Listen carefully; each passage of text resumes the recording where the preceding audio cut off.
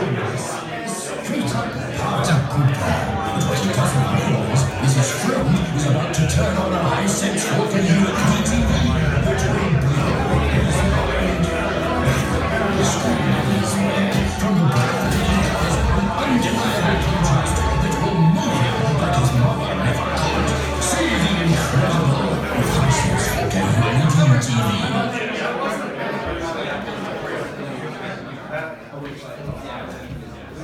Well, good evening, everybody.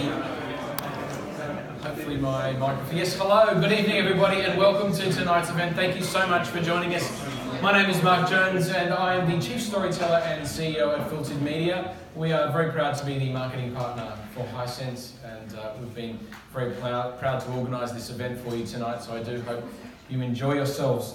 Um, we're uh, very glad to have you here at the Old Clare Hotel, and uh, I wanted to have a special thanks for those of you who came from Melbourne. I know Adam Bennett is here. Well done, and uh, uh, also Bennett Ring. Where are you? You also made a made, the- made the trek up. Well done. Thank you for joining us uh, today. Um, our uh, many of you will know Andre and Kevin from Hisense. Unfortunately, they didn't have your good fortune with uh, with the airlines, and we're expecting them to arrive a bit later on this evening. So uh, we trust they arrive safely. Uh, now, uh, a couple of quick notes actually. I don't know if you know, but this is actually used to be the Carlton United Breweries building. It's been restored to this fantastic uh, event that it is. This, I believe, used to be a boardroom. So I just I wonder what sort of conversations and shouting matches went on in here. But um, if you need the bathrooms, they're at the back. So I honestly, I don't normally recommend bathrooms, but you really got to see this one. Quite amazing. Um, so that's about, I think, the only um, you know notes that I need to make in terms of housekeeping. Except to say that we also have a, a special um, uh, guest entertainer uh, that will come on in just a moment, and I do encourage you to stick around because we will have a, uh, a lucky door prize, which will be uh, a very interesting one for you to behold. Now, the ad that some of you, I hope, just uh, were able to see there, and maybe you've seen it on the internet uh, and on TV, was the See the Incredible campaign. This was actually the first TV campaign that Hisense has done for a little while now, and it coincide, coincides with the global sponsorship of the 2018 FIFA World Cup. Many of you would know that Hisense is uh, a big supporter of the, the FIFA World Cup and many other sporting events. Uh, I, I think you could describe the ad as playful yet premium. And uh, Hisense's positioning is very much around that idea. They like exaggerated humour, uh, and it sets the brand apart, and it able to. Um, I think it aligns with the ULED proposition, uh, being more familiar and approachable. So, uh, and you would many of you, I, think, have recalled um, uh, and worked with the uh, Series Seven TVs, which actually we've got at the back here. Um, many of you have been have worked with that. Um, with that TV, which has had, had a fantastic um, response. We've been really encouraged by that. And that's been out in the market since May this year. But let's talk about the Series 8 and Series 9 that we're here to celebrate this evening. So, to, uh, to my right, to your left, you can see here the Series 8 TV. Um, there are many fantastic features about this, which I'll let you discover. But uh, I was particularly interested in this cable feature. I think, you know, the tidying up the jungle at the back uh, is quite an interesting, um, quite an interesting feature. Uh, this is the 65-inch display, and then to my left, to your right, is the 75-inch Series 9 model, and uh, it's uh, it's an incredible uh, television. It, uh, it comes with um, quantum dot technology, and is the, the first Hisense TV to be awarded a UHD premium certification by the International UHD Alliance, uh, and that's important because um, they really do focus on both quality and the creative side of things, which, as you would appreciate, um, is an important combination. So Hisense is very proud to be able to meet those standards and to be to receive that award.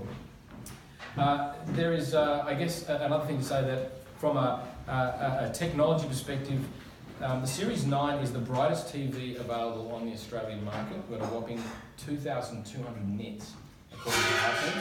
So it's, uh, it's an incredible performance, and as you can see, both TVs from an aesthetic point of view will look fantastic in your living rooms. Um, I certainly want one. We have uh, some TVs in our office as well, and they're just fantastic performers. Now, before I wrap up, a, couple of quick notes on social for those of you, on social.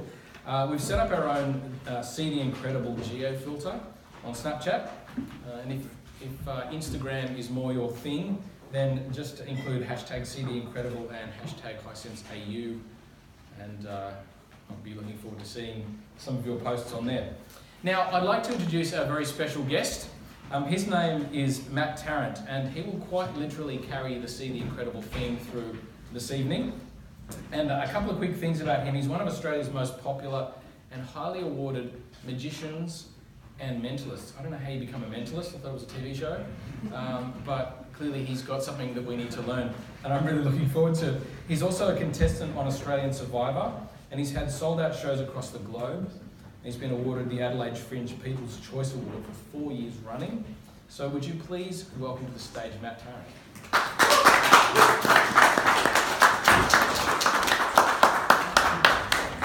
Thank you so much, guys. Really appreciate you guys having me here tonight. I just want someone if they can give me a hand just to get that table up on the stage as well, if I can.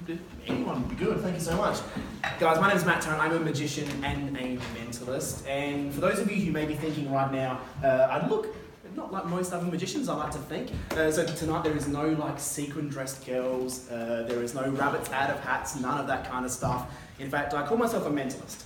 Now, for those of you who don't know what a mentalist does, basically a mentalist is someone who uses the power of the mind. Things like body language reading, mind reading, all this kind of stuff to know what you are thinking.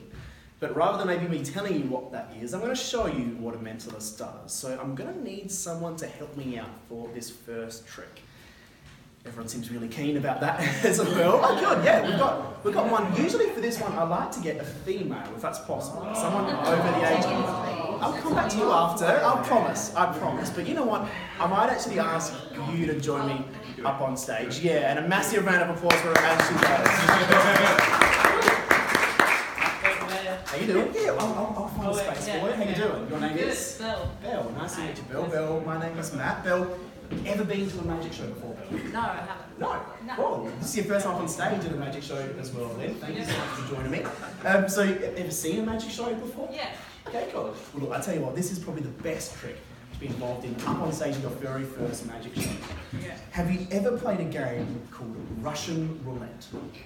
I haven't played it, but I know about it. You know what it is? Yeah, I know. Okay, cool. Yeah, For those yeah. of you who don't know what Russian roulette is, basically it's a game they used to play in the Wild West. But they would have a gun. That gun would have five or six chambers inside that gun, one bullet. They'd spin those chambers around, and when it got to you at the table, hopefully Yeah. that didn't happen. Okay. But don't worry, I couldn't get a gun here tonight. Um, but there is a game magicians have played for hundreds of years, somewhat similar to Russian roulette. Before we get into that, I want to show you a video of magicians who have practiced with this trick in the past. Can we get that video if we can, please? It's going to be on that TV right there in just a second. This is the pause for bringing a bit of drama. Something that will make you do that is the infamous spike trick. I raise the stakes a little bit. Summing it. Now, see the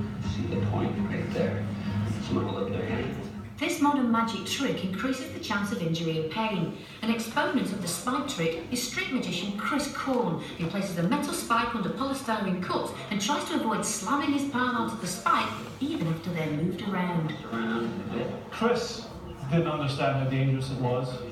While rehearsing, I mix up the cups and I see where the spike is. Alright, and look, just, just so you know, there's no magnets, anything in my hands. I see him notice where the spike is because of how the trick works. Then he raises his hand real high and slams it down on exactly the cup with the spike underneath it.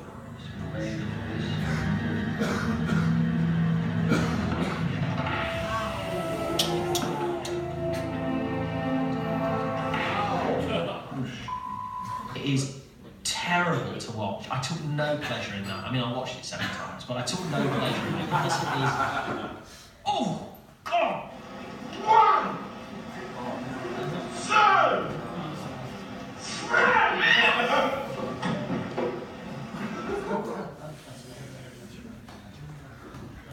To my magic show. and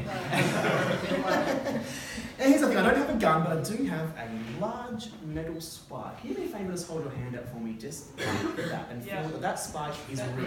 Yep. Right, good. 100%. Now I'm going to place that spike inside this block of wood. And what I'm going to do is place that spike and that block of wood inside this last bag. But while I do this, I don't want you to see what I'm doing. Okay, so you're going to turn and face that way, just like that. Put my sleeve.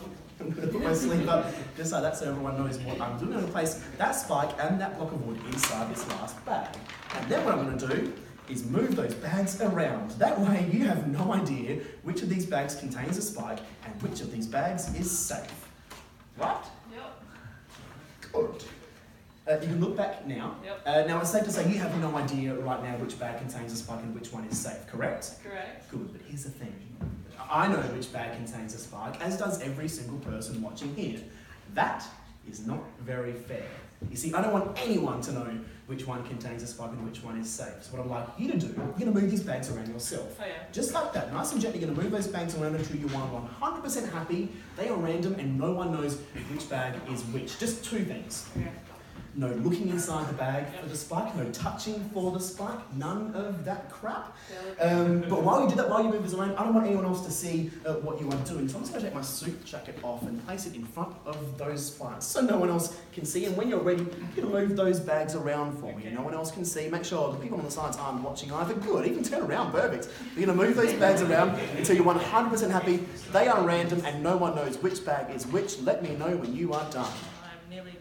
Good. Now, for everyone else watching me, uh, you will also notice for this trick, uh, most magicians will wear a watch or, or a ring, something like that. And that will tell them uh, which one contains a spike and which is safe. The watch either includes some sort of electronic or, or that ring is magnetic. But not me. Things No. are good. Good. For this trick, I do this as natural as you possibly can. No watch, no ring, no suit jacket. This is as natural and as stupid as this trick gets. Great. No, no lawyer? So we have we have four bags here that are completely random. You have no idea which is which. These guys have no idea either. Good. Uh, I also do have a blindfold. Can you make sure that blindfold is real for me and that I can't see through that blindfold? Just hold up to your no, hold up to your Oh, face so you can see. Uh, I do also have some Dettol. Um, Oh yeah. Just in case this goes wrong. Okay, I'm going to place that blindfold on myself. Now, if you think maybe there is some sort of way that I've seen like a marking or something on one of the bags uh, and that tells me it contains a spike, what I'd like you to do is just quickly move those bags around once more for me. That way everyone knows there is no way for me to have seen any marking or anything like that. And when you are happy with those bags are completely random, what I'd like you to do is grab my hand, my right hand, and place it over one of the bags that you Okay. think does not contain the spike.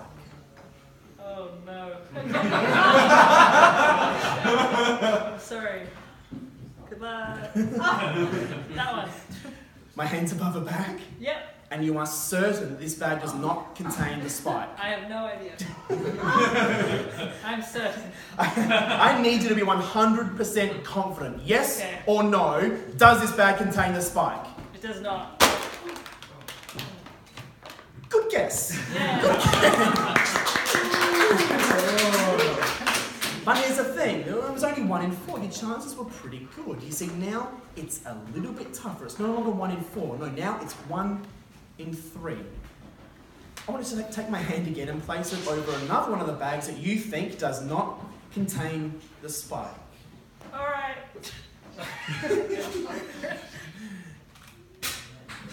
I'm confident. No. Yeah, right there. So You're certain. I'm certain.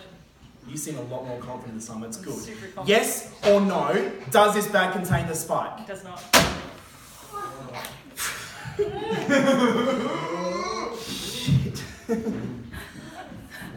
But here's the thing this is now the toughest part of this trick. Now it's 50 50, one in two. You see, one of these bags contains a spike, the other bag is safe.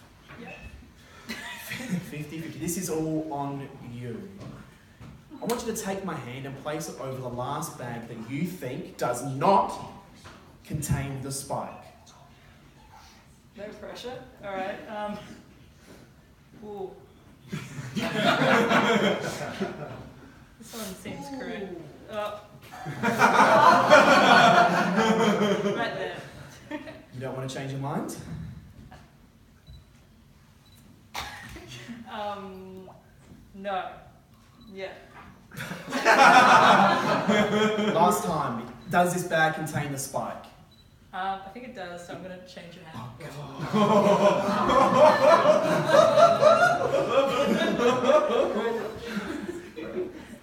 You are certain that this bag does not contain the spike. It does not. I'm 100% certain.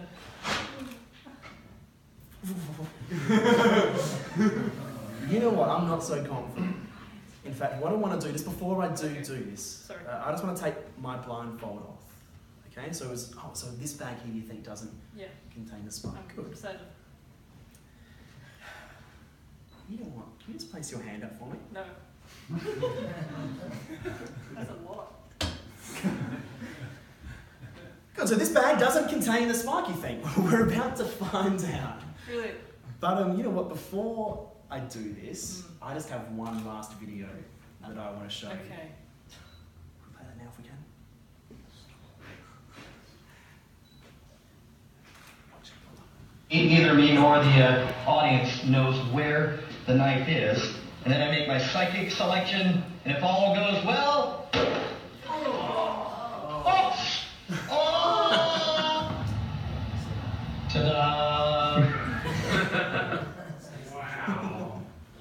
Great.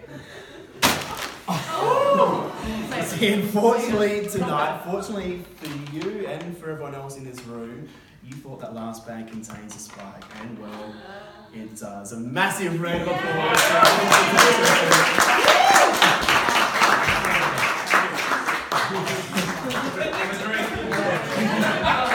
Just needs drink, and that is probably one of my favourite moments in magic when someone is up on stage begging me not to, almost in tears. That is one of the biggest experiences that I think you can feel up on a stage. Guys, thank you so much. My name's been Matt Tarrant. I'll be back in a little bit to show you one more. Enjoy United until then. Thank you guys so much.